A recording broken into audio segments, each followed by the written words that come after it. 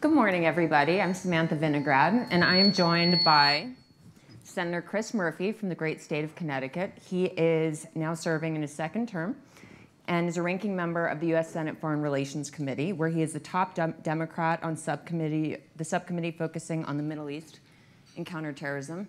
Senator Murphy, you and I have talked about every issue under the sun when it comes to the Middle East, from Yemen to Saudi Arabia and obviously Iran. I always like to lead with intelligence. And I assume that most of the work that you're doing is driven by intelligence that you're receiving from the administration to a large degree. What role is intelligence playing for the Senate right now and for the SFRC in particular? Uh, well, uh, Sam, great to be here with you. Thank you to the Aspen Institute for inviting me. This is my first time uh, here at this incredibly important forum. Uh, thank you to Nick for the invitation, uh, Secretary Albright, and to many others uh, in the audience. It's wonderful to be here with you.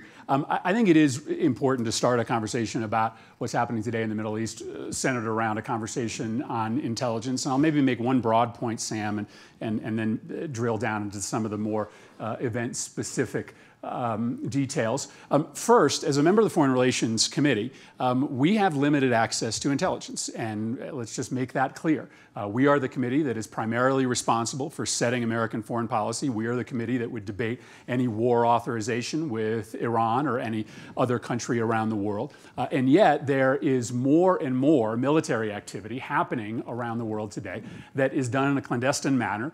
The information and the outcome and the analysis is not shared with the Foreign Relations Committee. I remember when we were being asked during the Obama administration to authorize a um, overt Defense Department run training program for Syrian rebels.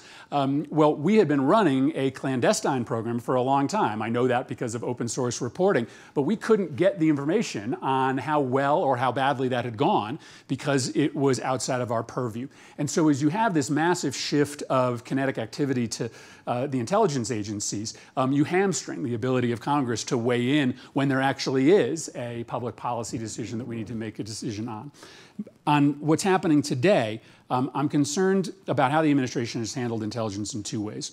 One, um, they have um, made the deliberate decision to parcel out intelligence at crisis moments to their friends first.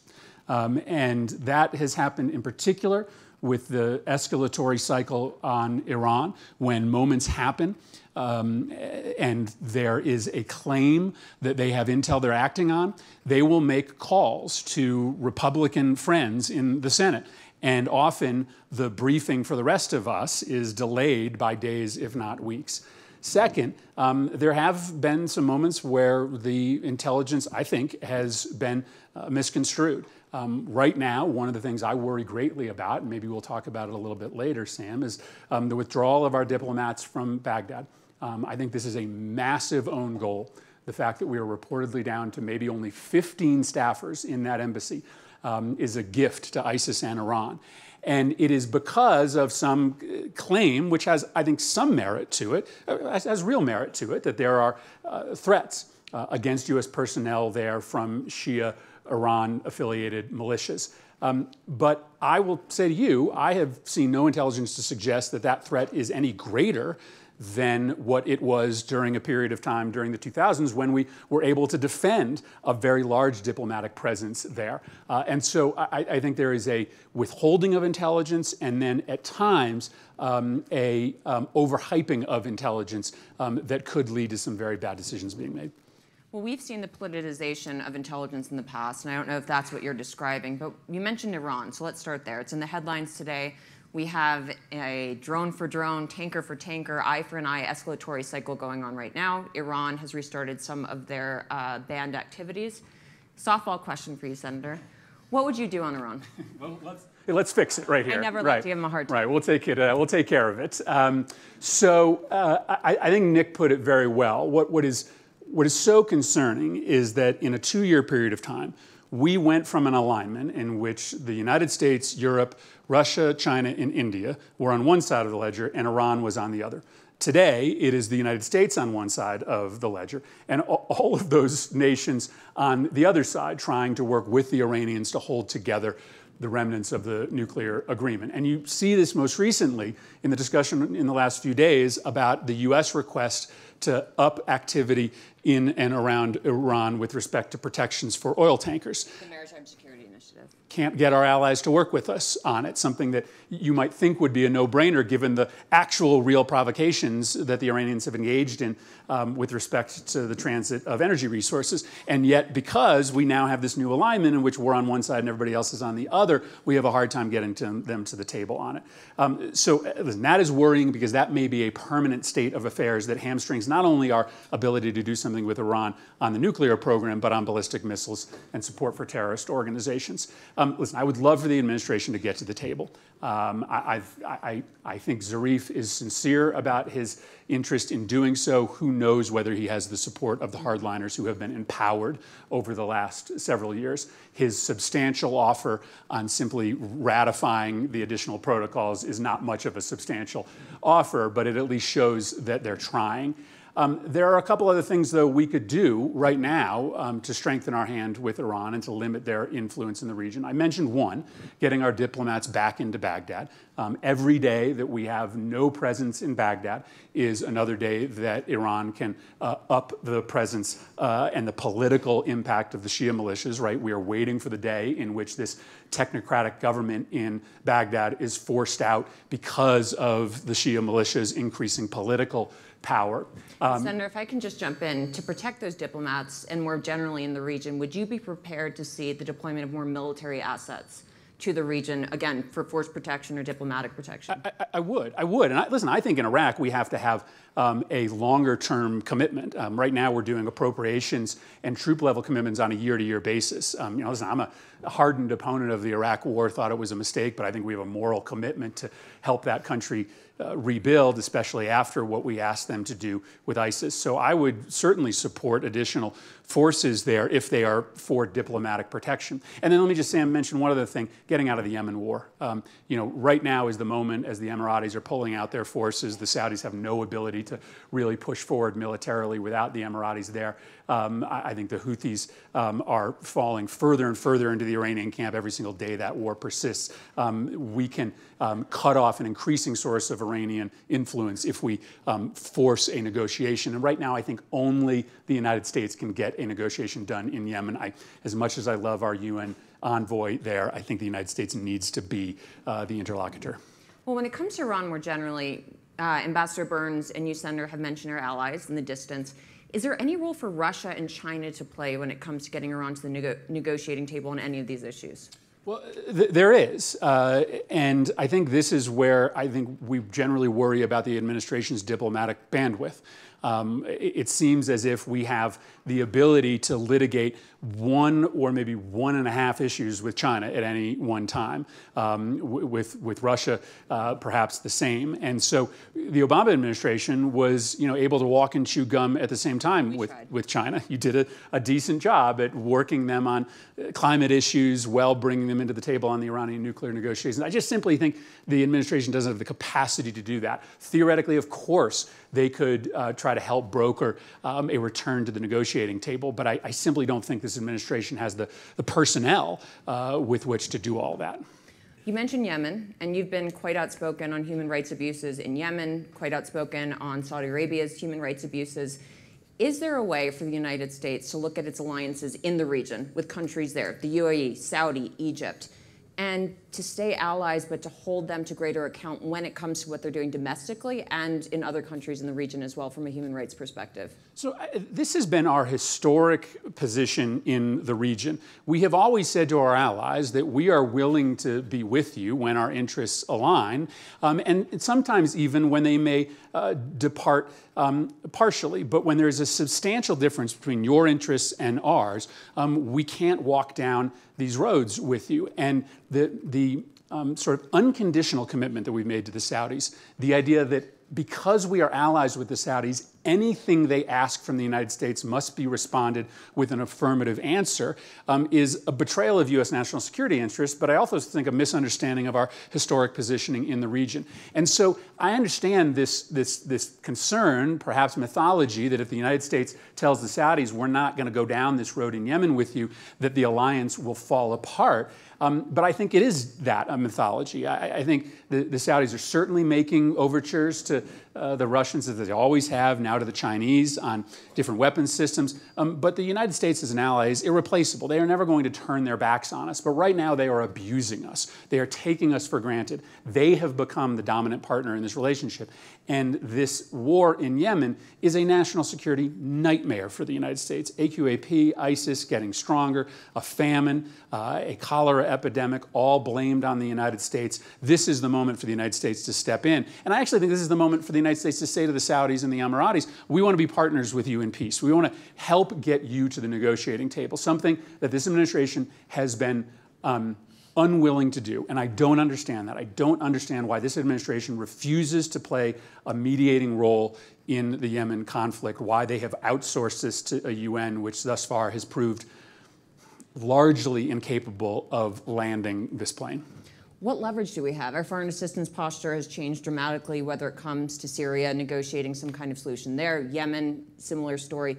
What leverage do we have over the Saudis, over the Emiratis, over the Houthis, or any of the parties in Yemen at this at this point? Well, I mean, some of this is natural leverage. I mean, this there there, is a, a tiring of this conflict. Um, I, I, spend a lot of time talking to all sides of th this uh, war, and this is a moment where I think people want to get in agreement. The battle lines are largely stagnant. The Emiratis, as I mentioned, have essentially pulled out, leaving the Saudis friendless. Um, so there just is a, a moment in time um, that would allow for the United States to come in. But the, we've given away our leverage with the Saudis. I mean, by telegraphing to them that you know, after the perpetuation of possible war crimes in Yemen with U.S. assistance, the kidnapping and dismemberment of a U.S. resident, um, you get rewarded for that. You get a deeper defense partnership. You get a deeper nuclear, um, uh, civil nuclear partnership. You get a visit from the Secretary of State.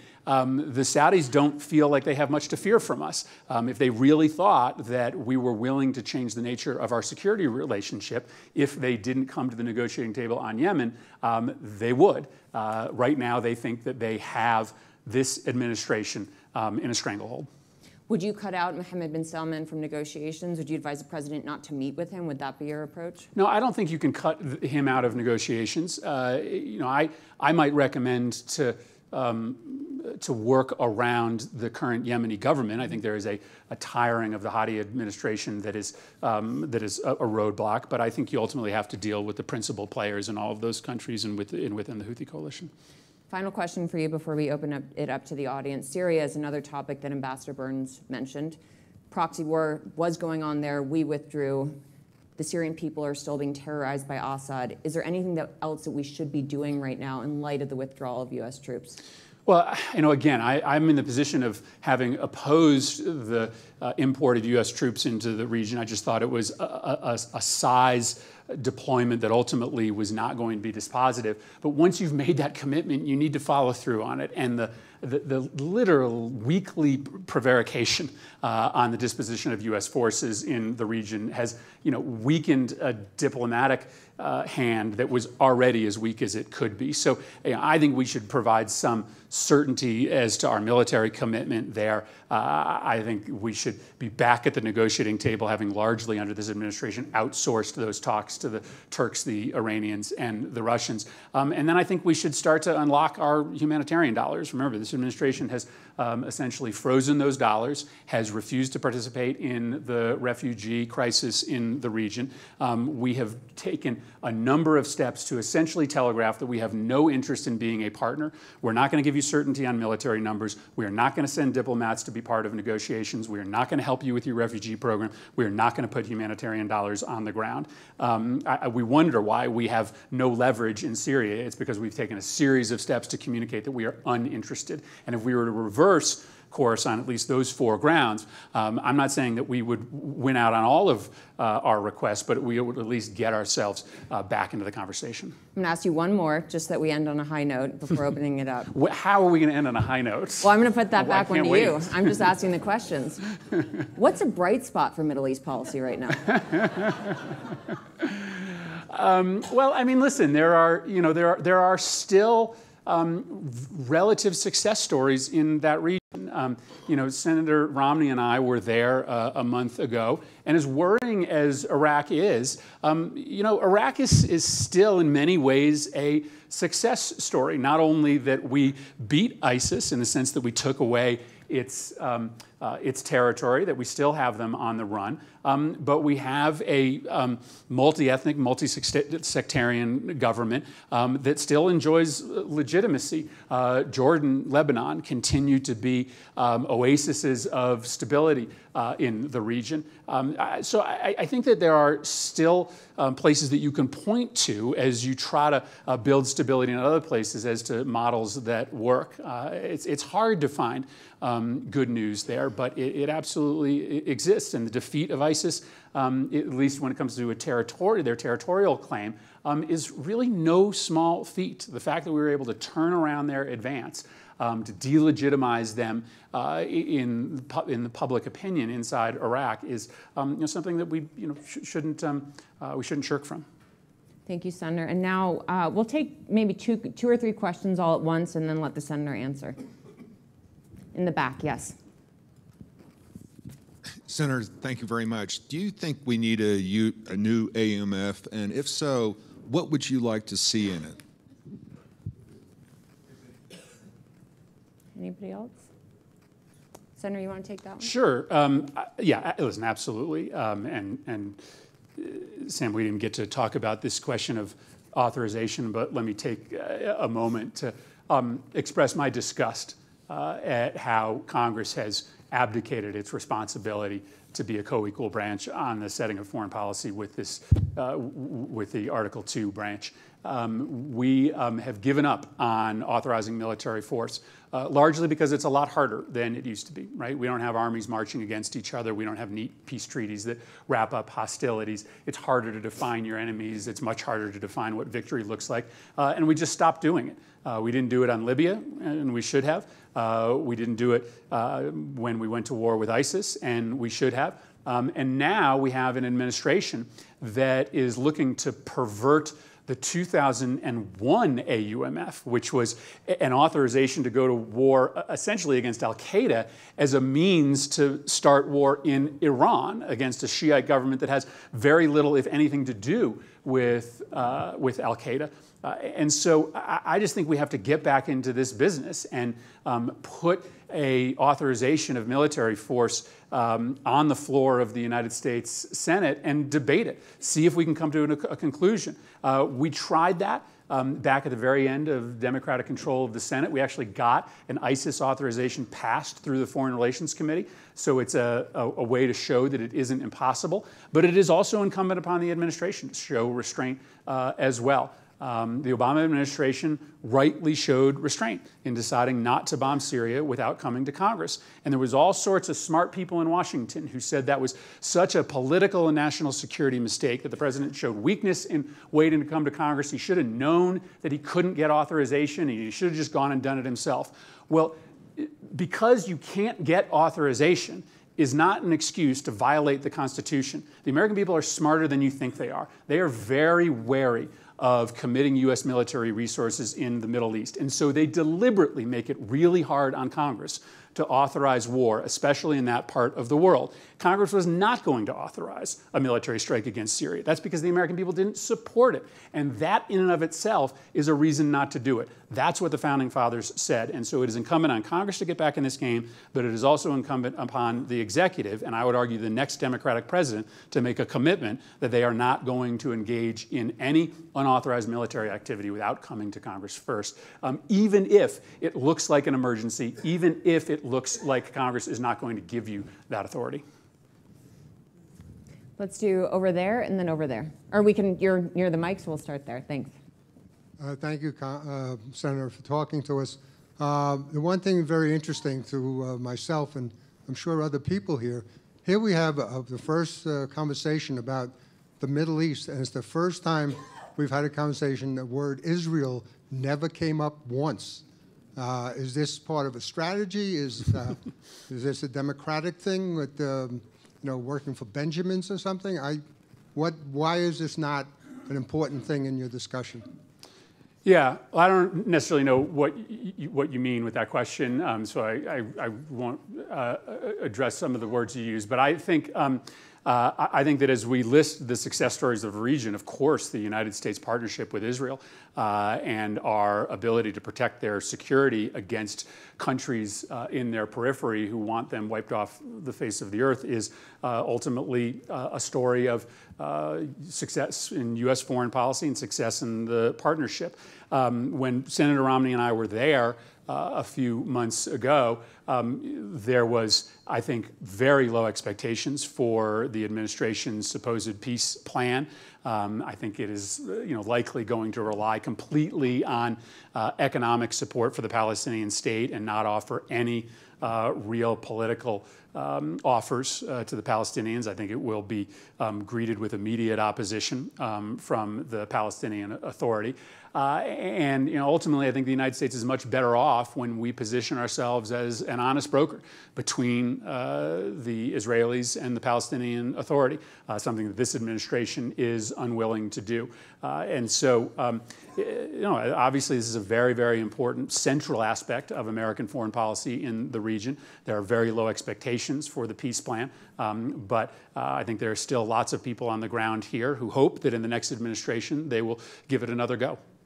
And Senator, you visited Israel recently with Senator Romney, is that right? I did, um, and again, we were there, you know, just as there was uh, expectation of this plan uh, emerging, um, and uh, we uh, we talked with uh, the Prime Minister. Uh, we met with the new Prime Minister in the Palestinian Authority. Again, you know, I just ultimately think that um, this.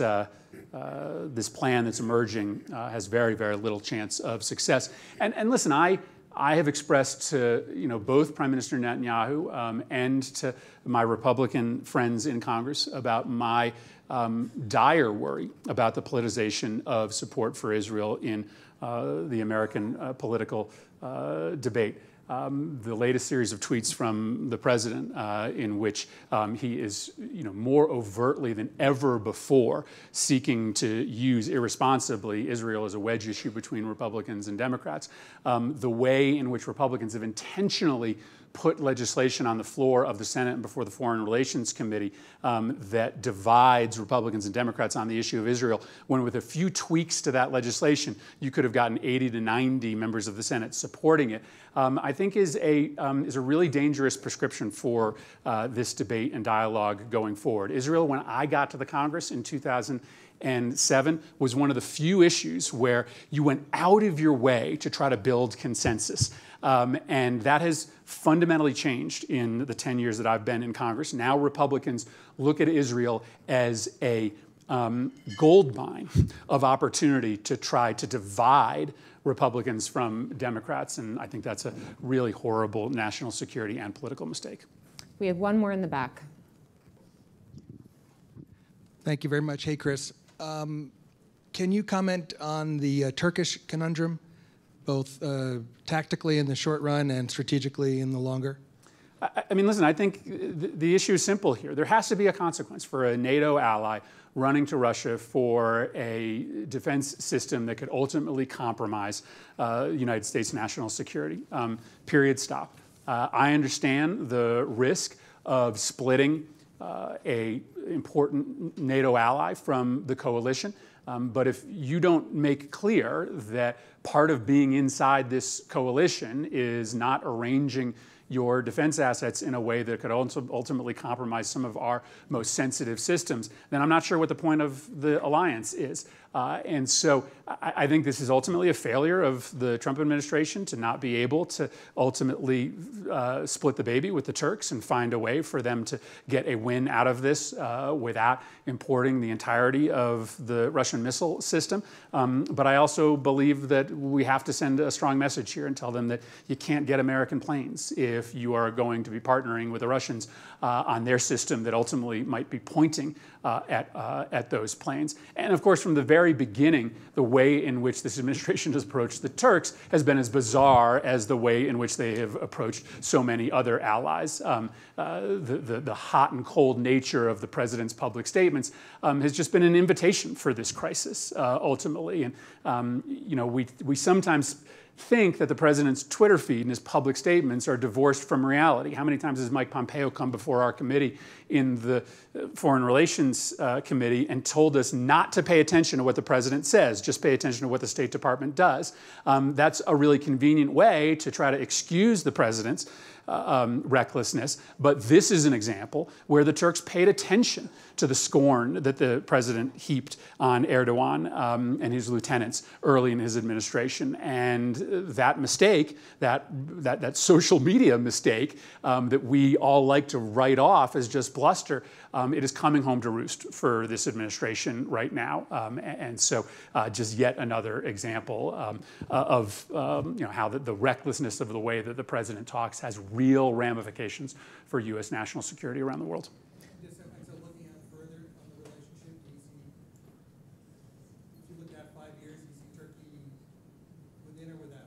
Well, listen, I, I think you know what's happening inside Turkey today is fascinating. We're, we're going to have to watch the, um, the, the, the, politics of the developing opposition to, uh, to Erdogan and his uh, party. There has been no viable opposition there for almost a decade. And of course, he has done a wonderful job of controlling the media and locking up political opponents as a means to consolidate his power. But you have seen um, these early grass shoots in the mayoral election and other uh, regional political battles of a, of, a, of a potential popular resistance mounting. And, and, and, and I think it's hard to answer which way Turkey goes uh, without understanding um, what his political opposition looks like, whether it can achieve maturation. What we do know is that their economy is, is, is hemorrhaging, is, is hurting, and that um, for a long time they had received, rightfully so, the bounty of this perception globally that Turkey was aligning itself with the West and aligning itself with the European Union.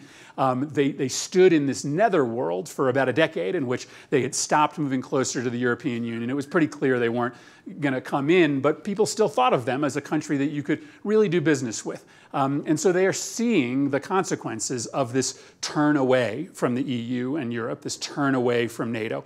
Uh, and perhaps as they understand that the only way to build a growing economy for their people is to turn back, uh, we may you know, see a future, um, a, a, future for Turkey that is Western oriented in the way that I think we maybe took for granted its future was going to be um, 15 to 20 years ago. So watch the political debate play out, watch the continued atrophy of their economy. I think those are the signals that you can look to as we try to hope. Um, listen, I think they're an incredibly important ally. I desperately want them to be a full, complete partner in, in NATO. I, I, root for them to make a decision to re-engage with the European Union. Um, and I think uh, their domestic uh, profile uh, over the next few years will tell us a lot about whether that's going to come to fruition. Senator, thank you. We're thank out of time. Thank Thanks you. for being here.